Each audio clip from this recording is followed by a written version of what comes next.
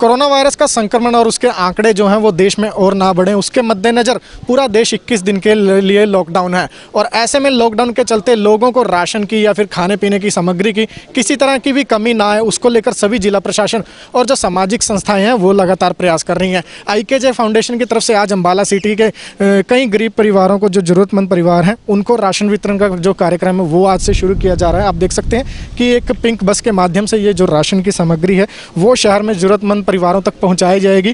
किस तरह से जो सामान है, वो यहाँ पर लोड किया गया है, वो हम आपको दिखाना चाहेंगे कि जो पूरी बस है, वो यहाँ पर सामान के साथ भरी गई है। अच्छी तरह से जो पैकिंग है, वो की गई है। यहाँ पर तस्वीरों में आप देख सकते हैं कि किस तरह से जो पूरी बस है, वो राशन के साथ भरी गई है। इसका मतलब जो तैयारी है, वो यहाँ पर पूरी तरह से जो सामाजिक संस्थाएँ हैं अम्बाला का प्रशासन है उनकी तरफ़ से की जा रही है कि कोई भी परिवार भूखा ना सोए ऐसी जो घड़ी है, इस समय संकट की घड़ी जो देश में आई हुई है, इसमें किसी की भी जो हालत है, जो वो भूख के कारण ना बिगड़े तो उसका पूरा ध्यान रखा जा रहा है। आई के जे की प्रेसिडेंट राधिका चीमा यहाँ पर है, उनकी तरफ़ से लगातार ये प्रयास किए जा रहे हैं, उनसे बातचीत कर लेते हैं। मैम, राशन वितरण किया जा रहा है, किस तरह का रहेगा कार्यक्रम?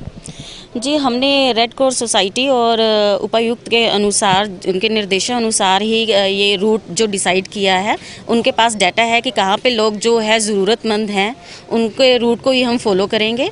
और इसमें हम बताना चाहेंगे कि हमने एक एक मतलब कि परिवार में पाँच पाँच सदस्यों को लिया है, जिसमें 200 परिवार को जोड़ा है और 1000 लोगों को, लगभग 1000 लोगों को एक हफ़्ते का राशन दिया जा रहा है। जिस पैकेट में पाँच किलो आटा, दो किलो चीनी, दो किलो राइस, एक तेल बॉटल एक किलो और हल्दी, मिर्च और एक किलो साल्ट और कुछ और ज़रूरत वस्तुएँ जो हैं वो इस पैकेट में दी गई हैं।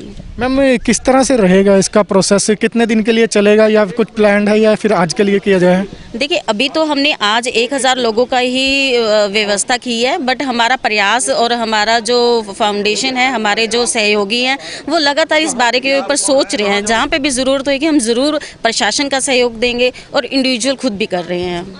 तो फ़िलहाल जो ये राशन है वो एक हज़ार परिवारों तक पहुँचाया जाएगा, एक हज़ार परिवारों की मदद की जाएगी। तो ऐसे में अन्य जो धार्मिक संस्थाएँ हैं या फिर अन्य जो सामाजिक संस्थाएँ हैं, उनसे भी लगातार यही अपील है कि अगर आपके आसपास कोई ज़रूरतमंद परिवार है तो जिला प्रशासन को ज़रूर सुरक्षित कीजिए, क्योंकि जिला प्रशासन लगातार कह रहा है कि अगर किसी को किसी भी प्रकार की ज़रूरत है, वो यहाँ से ज़रूर पूरी की जाएगी। आगे की तस्वीरें भी दिखाएँगे आपको, बने रहिए हमारे साथ।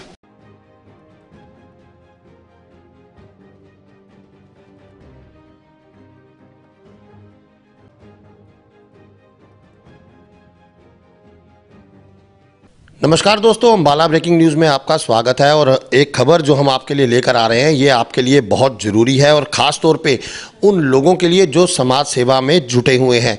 बकायदा इस आपदा के दौरान लोगों के अंदर समाज सेवा का जो जज्बा है, वो दिखाई दे रहा है। लोग जो खाद्य सामग्री हैं, वो उन लोगों तक पहुँचा रहे हैं जिन्हें इनकी ज़रूरत है। लेकिन फिर भी देखा ये जा रहा है कि एन जो हैं, वो अपने अपने स्तर पर खाद्य सामग्री भेज रहे हैं। सरकार अपने स्तर पर खाद्य सामग्री जो है, वो लोगों को भेज रही है। तो ऐसा ना हो कि जिन लोगों को इसकी वास्तव में ज़रूरत है, वो इससे अछूते रह जाएँ तो बकायदा उपायुक्त अम्बाला जो है, वो हमारे साथ हैं। बकायदा पिंक बसेस के माध्यम से जो ये सामग्री है, खाद्य सामग्री, ये लोगों तक पहुंचाई जा रही है। आज भी उपायुक्त अम्बाला ने जो है, वो झंडी दिखाकर इन बसेस को रवाना किया।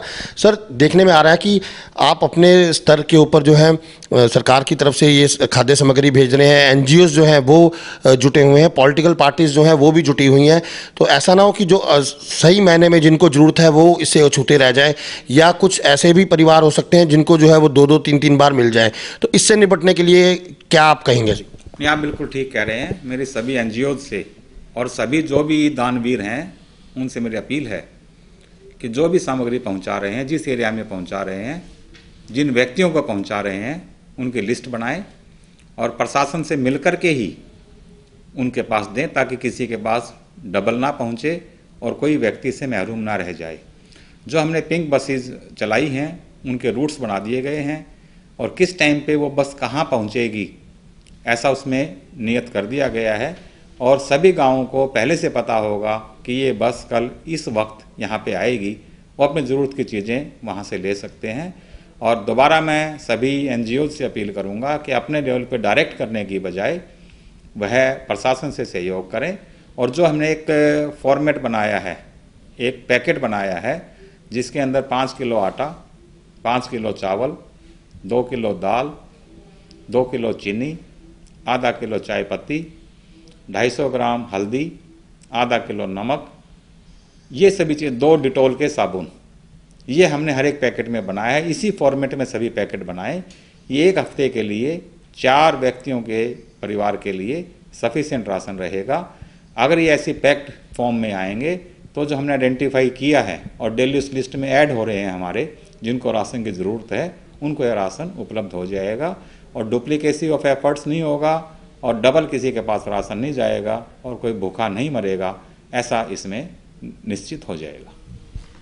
बिल्कुल वाजिब सी बात है कि अगर एन जो हैं और पॉलिटिकल जो पार्टीज़ हैं वो अपने अपने स्तर पर राशन बांटेंगे तो हो सकता है कुछ ऐसे लोग भी हों जो सभी जगह से जो है वो राशन ले लें और ऐसे में जिन लोगों को इसकी वास्तविक में जो ज़रूरत है वो हो सकता है उन तक नहीं पहुँच जाए तो बेहतर यही होगा कि बाकायदा एक ही जगह से जो है इस राशन की सप्लाई हो और बाकायदा इसकी एक लिस्ट जो है वो बने और पता लग पाए कि किसको राशन पहुँचा है और किसको राशन नहीं पहुँचा।